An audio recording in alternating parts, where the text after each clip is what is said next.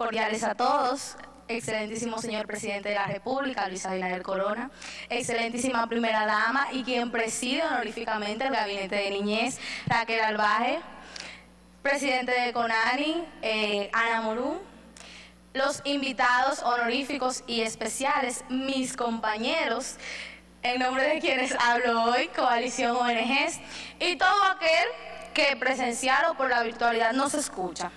Es importante saber qué tenemos y qué hemos logrado hasta ahora.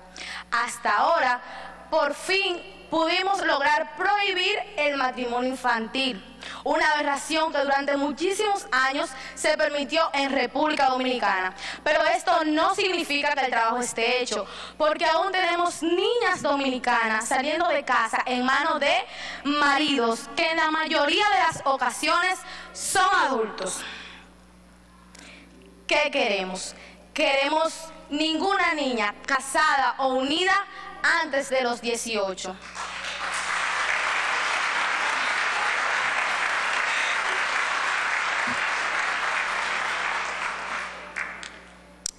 Es penoso ver cuando desde casa nos arrojan hacia la boca del lobo, que como dijo Raquel, esto pasa muchas veces por cuestiones de violencia. Es importante también tener en cuenta la eliminación de violencia en todas sus formas, que en República Dominicana está tan normalizado como corrección.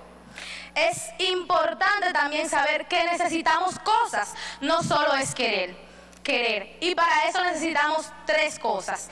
Educación, les pido que no nos cerremos en este término porque es algo muy amplio. Necesitamos también oportunidades, pero también necesitamos gente creyendo en nosotras. Y es por eso que estamos aquí hoy. No he terminado, no he terminado.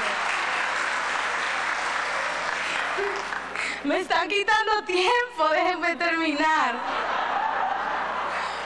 No es algo de la noche a la mañana. No es algo que inicia hoy. Esto es una lucha que lleva años. Pero ustedes saben también qué es.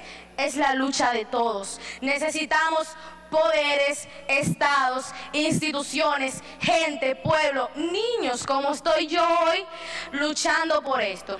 Y es importante que nos unamos todos a partir de hoy por la realidad que queremos. Niñas dominicanas libres y creciendo contentas.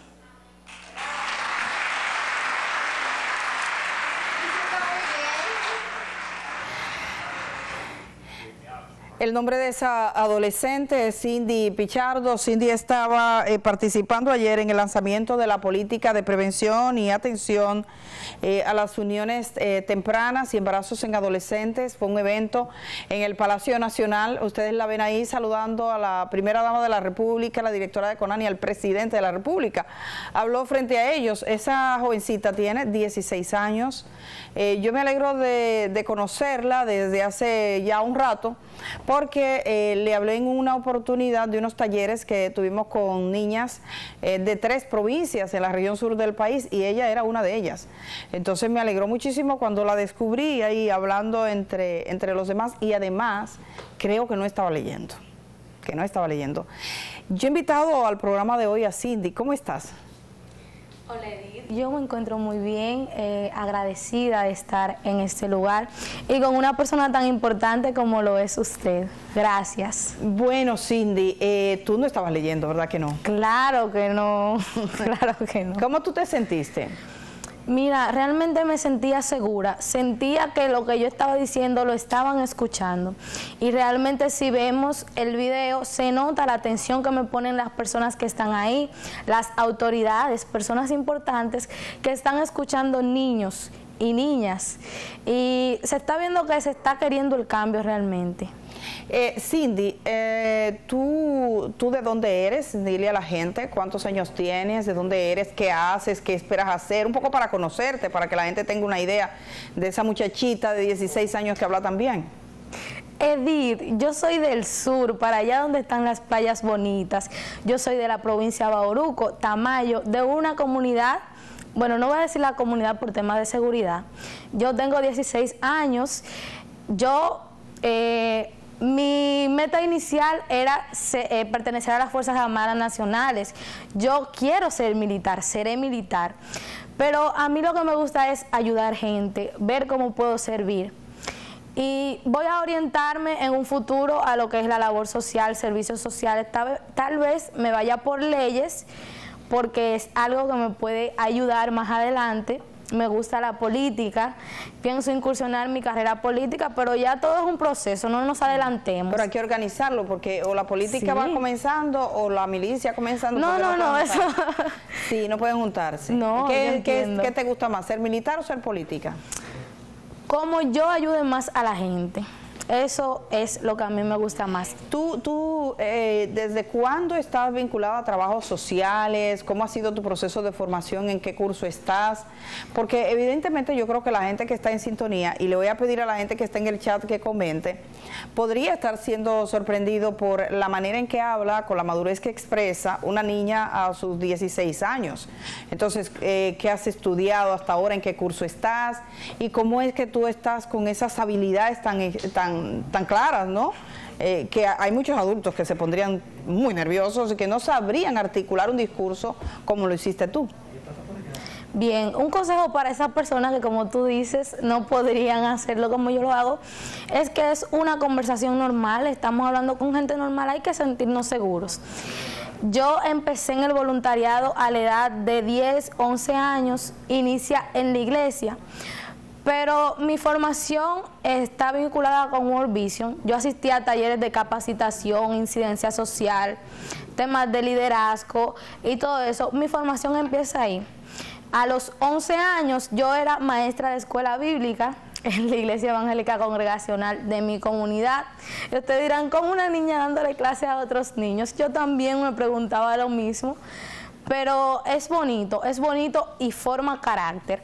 Pertenecer a grupos es lo que yo recomiendo, conocer gente. Preocúpense por conocer gente y participar en todo, que eso es algo que le va a garantizar su crecimiento personal y en valores. Entonces tú que vienes de una comunidad de Bauruco, eh, no tendrás que hacer ya, hay gente mayor que está haciendo ahí de que cómo perder el miedo escénico, por ejemplo. Ya ese miedo tú lo superaste hace rato. Eh, Cindy, eh, está comentando la gente sobre tu, madurez y, bueno, voy ahorita voy a compartirte los mensajes que están diciendo en el chat. Si quieres dejarle un mensaje a Cindy, dígalo. Pero quisiera que hablaras un poquito de lo que te trajo a Santo Domingo. De hecho, ella está de visita y está acompañada por la organización que la, que, la ha acompañado en su proceso de crecimiento, como ella manifiesta, eh, a este programa. Eh, no anda sola. Eso lo digo para la tranquilidad de sus parientes. Eso es como parte de la de la cultura que tienen con, respecto a las adolescentes. Eh, tú hablaste de los embarazos eh, y de las uniones tempranas. Supongo en, en, una zona y en la zona sur del país hay algunas de las comunidades que tienen mayor incidencia en embarazo en adolescentes.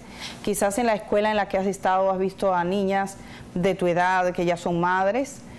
¿Qué tú nos dices de eso? Ayer decías que, se necesitan muchas cosas, que se necesitan oportunidades, que se necesita participación y que se necesita que se crea en ustedes. ¿Qué, podría ser el país para, para dejar de ser uno de los países donde más niñas de tu edad están a esta hora del día en una maternidad? Mira, eh, a mí me tiene aquí que yo veo de cerca la situación. O sea, yo entiendo que, que yo esté aquí hoy es porque yo he vivido y yo sé lo que se pasa. Pero, o sea, no lo he vivido personalmente, aclaro, ojo, yo no soy madre adolescente ni me he unido a temprana edad, pero lo veo de cerca, veo el problema de cerca porque yo vengo de una comunidad que no es rica y donde hay vulnerabilidad es los lugares donde están más propensos a que se dan esta situación. Yo soy de las que dice que sin recursos no hay derechos. La ausencia de recursos, de economía, es la es el equivalente a la ausencia de todos los derechos. Entonces, ¿qué yo recomiendo? Mira, es importante incluir a las jóvenes que han pasado, las jóvenes adolescentes que han pasado por esta situación. Esto le va a brindar un foco, es una manera de llevar luz a su vida y mostrarle que no todo ha terminado, porque cuando se pasa por estas situaciones, uniones tempranas, embarazo en adolescencia, se cree que ya todo ha terminado aquí, que no queda más. Pero darle oportunidades a esas niñas, porque son niñas, es la manera de ayudarla a salir adelante, de sacarla de ese pozo en donde se cree que están metidas. ¿En qué curso tú estás? Están preguntando en el chat. Yo estoy en quinto de bachiller, lo que antes era tercero. Tercero, o sea, te falta un año ya para... Sí. Eh, tú vas a terminar, eh, digamos, a los 17, casi 18 años. Sí. Entonces, ¿piensa matricularte en la universidad o piensa pedir tu ingreso a una academia militar? ¿Qué piensas hacer? Hasta ahora los planes son eh, incursar en la milicia. Yo quiero ser militar y quiero ayudar a la gente desde eh, la parte de cuidado, que es donde se encarga la Armada Dominicana. ¿Y qué tipo de militar te gustaría ser? Porque hay, militares en estos días con muchos líos y hay otros que están bien. no, no, nunca de los líos. Yo quiero ser eh, esa militar. Yo soy una persona que no es necesario nacer para ser grande, pero yo no nací para ser un cadete cualquiera. Yo quiero hacer el cambio que quiero ver en las armadas nacionales. Entonces, yo quiero, sé que todo es un proceso, entiendo eso. Ojo, no estoy denigrando a nadie de bajo cargo, ni digo que todo el mundo tiene que querer lo que yo quiero. Pero yo entiendo que yo nací para ver el cambio que quiero. O sea, no nací para quedarme conformada, no nací para quedarme inquieta cuando veo una injusticia, no, no nací para quedarme tranquila. Entonces yo quiero hacer el cambio que quiero ver. Y es por eso que, pues, llevando todos los procesos, las líneas por donde hay que cruzar, pues yo quiero ver la seguridad nacional que nos merecemos los dominicanos, que creo que no la merecemos. ¿Y qué tú piensas de temas como la corrupción? El jueves es el día contra la corrupción. ¿Qué tú, qué tú opinas? Yo sé que esta es una jovencita que habla de muchos temas, he podido conversar con ella, así que yo sé que este tipo de preguntas no le intimida porque ha pensado mucho y ha participado en muchas actividades. ¿Qué tú piensas de tu país? Porque muchos jóvenes salieron a caminar, por ejemplo, en la Plaza de la Bandera. Alguien está jugando con los controles del programa y no está mirando el programa, por favor, sí, para que no nos asuste. Eh, ¿qué, tú, ¿Qué tú piensas de eso? Sabemos que hay muchos jóvenes que eh, salieron a caminar, a protestar contra la corrupción, a pedir transparencia. Eh, ¿Qué opinión te mereció en ese momento y qué tú sentías? Mira, yo creo que el país está caminando. Siento que sí, tengo la certeza de que sí, y que pronto veremos la realidad que todos queremos, un país transparente, limpio, con oportunidades para todos. Creo que con el apresamiento de ciertas personas que son importantes, eso nos está demostrando que las cosas están avanzando y que hay muchas cosas que no se van a quedar, no se van a quedar impunes. Entonces es importante tener ojo, eh, también informarse. Es bueno que los dominicanos estemos informados sobre temas que no competen, que es la situación de nuestro país en cuanto a corrupción. Yo veo este nuevo gobierno, lo veo transparente y veo que sí, que se está avanzando, que se está avanzando. Eh, queremos una dominicana transparente, donde no haya impunidad, donde sin importar tu cargo político, tus influencias, tus padrinos, un término dominicano, eh, se va a hacer justicia sin importar quién o qué es lo que está pasando. Yo creo que eh, estamos caminando realmente. Eh, tú decías de que, habías visto y habías vivido la experiencia de ver a, chicas en tu entorno que tienen uniones tempranas. Eh, tú dijiste que eso es como parte de una cultura, que a veces la familia misma, por situación de violencia o a veces por pobreza, le lanzan. Eh, que tú le sugieres a otras chicas como tú, que están en cualquier parte del país, que vean este video, a las chicas de comunidades como las que, de las que tú vienes, de la provincia de Bauruco, a las compañeras que tienes, que sé que tienes muchas amiguitas en Asua, que es una de las provincias que más embarazo en adolescentes tiene, ¿qué tú le dices para que eviten esas uniones tempranas? es difícil hablar de una situación por la que yo no he pasado y es algo que van a decir muchas. ¿Cómo tú vienes a hablarme a mí de embarazo en adolescencia y de uniones tempranas donde tú no has pasado por esto? Pero yo sé lo que es, yo estoy en el entorno, yo veo, tengo amigas, tengo personas cercanas que se han casado unidos a temprana edad entonces, lo que le quiero decir es que muchas veces las niñas nos vemos expuestas, nos vemos vulnerables, nos vemos obligadas, a veces desde casa nos empujan, como dije en mi discurso, a la boca del lobo por cuestiones de violencia, de pobreza, nos venden. Es penoso. Les digo que hay otras salidas, hay otras maneras. Yo entiendo que muchas veces son muchos los derechos que son vulnerados, se obliga al niño, niña o adolescente a trabajo infantil.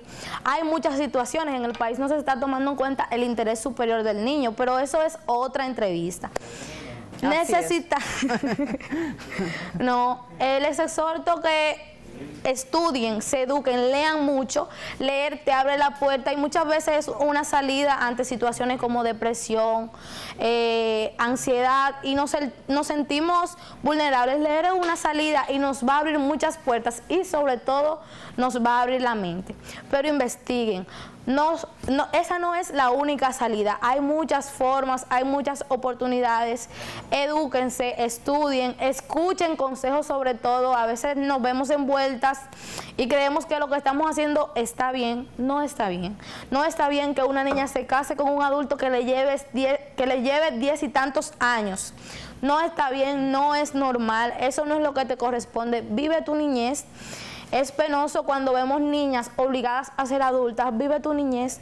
Es una responsabilidad que tú estás tomando, hacerte cargo de una casa, de un hogar, de una familia a tan temprana edad. Disfruta tus momentos y espera las etapas. El tiempo de Dios es perfecto. Entonces espera y ve por escalón, no te adelantes al proceso que todo va a llegar, pero en su momento. Mira, eh, me dicen que si tus padres son educadores, ¿son educadores tus padres? Se están preguntando en el chat. Mi tutora, que es mi tía, sí es educadora. Ah, para que sepan eso, porque dicen, ella tiene que tener ahí acompañándole una educadora. Y, y bueno, a veces la gente en Santo Domingo, los capitaleños se pueden sorprender, pero hay muchas niñas talentosas y en la región sur junto a, Cindy, yo conocí otras niñas como Cindy, me gustaría invitar a alguna de ellas, ¿verdad? Niñas brillantes, la verdad es que yo me quedé muy emocionada, fui a, compartir con ellas un taller y yo creo que ellas me enseñaron a mí más de lo que yo le enseñé a ellas. Yo me siento muy feliz y me siento como con cierto orgullo al ver a Cindy porque siento también que he sido parte de su vida en ese sentido. Y me alegra muchísimo Cindy, no te imaginas eh, eh, que tú puedas hablar con tanta propiedad y quisiera que este país valore eso. Muchísimas gracias por estar aquí. Gracias a ti. Sí, necesitamos fomentar la participación de niñas, esto las ayuda a crecer. Yo estoy aquí hoy gracias a eso. Y hay muchas niñas con mucho talento. Mis compañeras son unos soles, son geniales. El día de hoy estoy yo, pero yo sé que mañana cualquiera de ellas puede estar aquí y puede hacer lo mismo, hasta con mayor fluidez. Hay una juventud prometedora, hay talentos en el sur, vamos a enfocarnos en el sur, que tiene eh, trabajo prometedor ahí allá. Y debemos enfocarnos, hay que darle participación a la niñez y esto debe ser definitivo. Eh, ya cuando nos vamos, ¿el presidente te dijo algo cuando te acercaste, ya después de dar tu discurso? ¿Qué te dijeron? ¿Qué te dijo? Me estuvo comentando que hay políticas, hay campañas que incluyen a niñez y que nosotros vamos a ser los protagonistas de estas campañas. Bueno, qué bueno, seguiremos pendientes de tu desarrollo. Cindy eh, tiene 16 años está casi terminando su bachillerato, quiere ser militar y ustedes ven cómo habla. Es toda una esperanza como comparte mucha gente que está aquí en este chat. Que tengas un feliz día, eh, Cindy. Gracias a los que posibilitaron que tú estuvieras aquí esta mañana. Gracias. Nos vamos a la pausa. Cuando esté regresando, quiero compartir algo sobre el tema de la corrupción, porque creo que son palabras que merecen la pena pronunciadas en un acto anoche en participación ciudadana.